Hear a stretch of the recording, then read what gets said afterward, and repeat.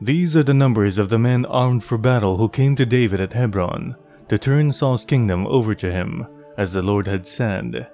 From Judah, carrying shield and spear, 6,800 armed for battle.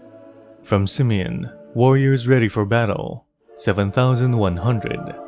From Levi, 4,600, including Jehoiada, leader of the family of Aaron, with 3,700 men, and Zadok, a brave young warrior with 22 officers from his family.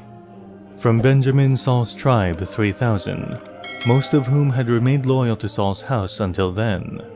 From Ephraim, brave warriors famous in their own clans, 20,800.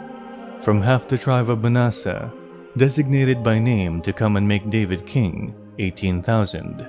From Issachar, men who understood the times and knew what Israel should do, 200 chiefs, with all their relatives under their command. From Zebulun, experienced soldiers prepared for battle with every type of weapon to help David with undivided loyalty, 50,000.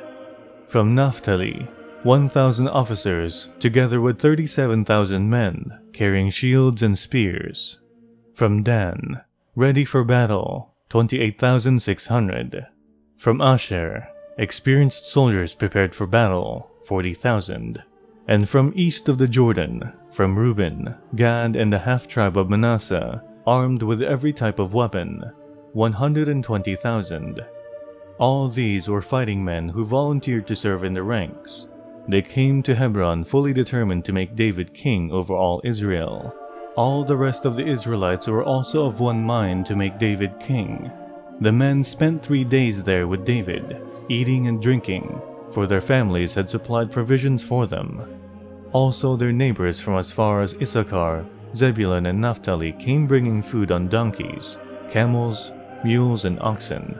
There were plentiful supplies of flour, fig cakes, raisin cakes, wine, olive oil, cattle, and sheep, for there was joy in Israel